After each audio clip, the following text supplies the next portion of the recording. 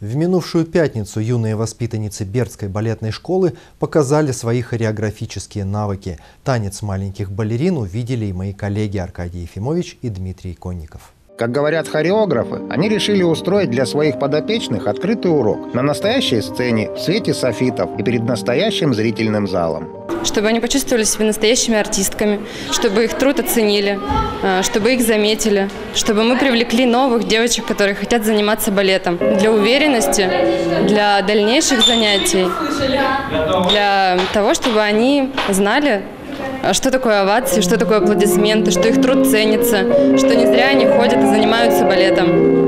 Около 30 юных граций представили то, чему они научились. Зрителями стали родители и близкие маленьких балерин. По мнению мам, балет очень позитивно влияет на развитие и становление девочек.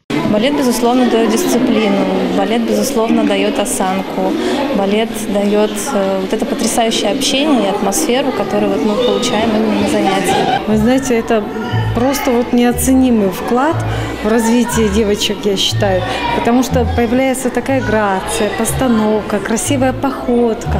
Она просто не идет, а танцует. Это прекрасно.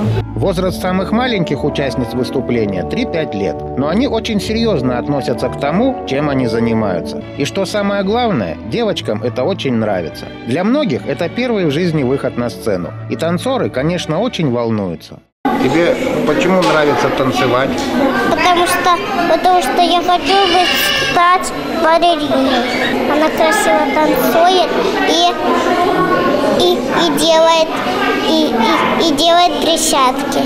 Мы там будем цветочками, и мы там будем танцевать. Я немножко волнуюсь. Почему волнуешься? Просто я иногда забываю движение.